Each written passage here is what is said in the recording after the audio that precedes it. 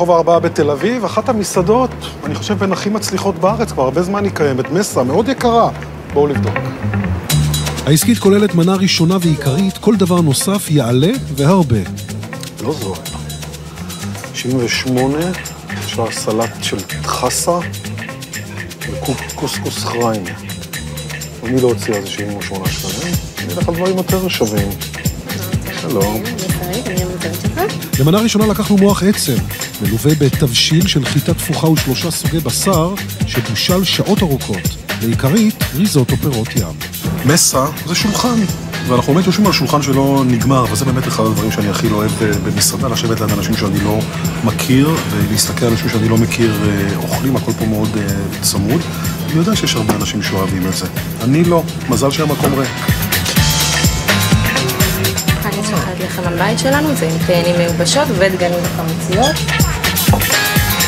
לא יודע איזה חציל אתם קונים.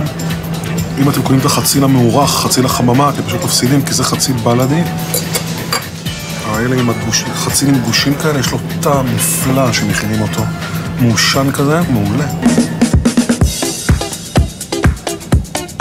מוח עצם, אחד המעדנים, אני חושב, לפחות שלי.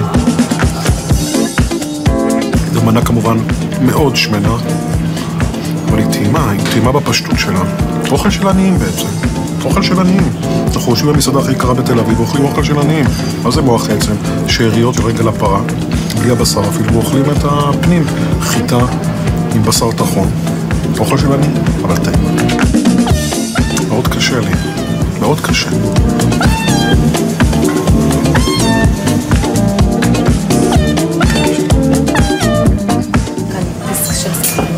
להוסיף. וריזוטו פירות ים. אורז, כמובן, עם ביסק סרטנים, שזה רוטב מצומצם של סרטנים.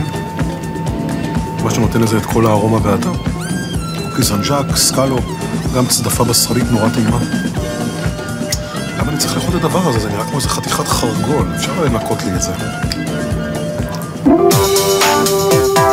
לסיום הזמנו ערמונים קלויים מלווים בגבינה וחתיכות אגסים.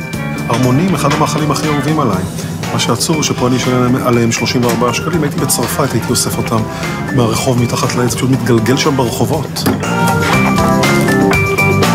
תודו שזה קינוח אה, קצת שונה, הגבינה מיותרת בעיניי, לא צריך שום גבינה, למרות שזו גבינה טובה מאוד, הבלו בווריאן, בלו זה בכלל סדרת הגבינות הכי מסריחות והכי שמנות, ממש מיותר, למה אני צריך עם זה גבינה? שירות מצוין, אוכל מיוחד ומרשים, אבל יקר מדי. שמונה במדד שלנו. 186 שקלים, ארוחה מאוד יקרה, הוספנו 30 שקל על המנה העיקרית, כי היא תוספת מעבר ל-98 שקלים. לא זול בכלל, אפילו יקר מאוד הייתי אומר, אבל צריך קצת כסף לתחזק מקום כזה.